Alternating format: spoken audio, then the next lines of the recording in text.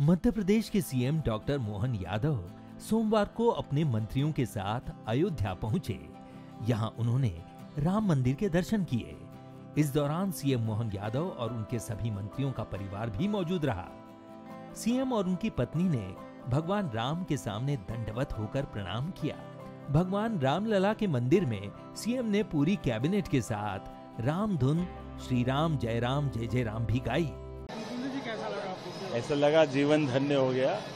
प्रभु राम का दर्शन, ये कई जन्मों के पुण्य प्रताप का प्रसाद होता है और आज हमने अयोध्या में आके भगवान राम के गर्भगृह में बनने वाले नवनिर्माणाधीन मंदिर के अंदर भगवान के दर्शन किए। ऐसा लगा साक्षात प्रभु स्वयं अपने रूप में विराजमान है। मेरी अपनी ओर से बाबा से यही कामना है। बाबा महाकाल की नगरी से आता हूँ। कि भगवान राम सब पे कृपा करे, बाबा महाकाल सब पे कृपा करे और हमारी सनातन संस्कृति की ध्वजा ऐसे ही लहराती रहे। दर्शन से पहले सीएम मोहन यादव ने ये भी कहा कि एमपी सरकार अयोध्या में धर्मशाला का निर्माण कराएगी।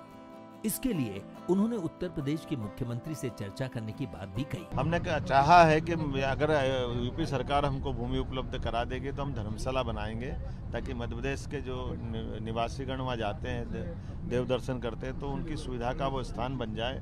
और इसी के साथ साथ भगवान अयोध्या में जहाँ उनका जन्म स्थान है, ऐसा माना जाता है कि 2000 साल पहले सम्राट विक्रमादित्य ने वहाँ पे जीर्णोद्धार कराया था। तो विक्रमादित्य के नाम पर घाट, धर्मशाला, ऐसे कई काम हम करना चाहते हैं। आगे भविष्य में जो हो जाएगा तक आगे बढ़ते जाएँगे।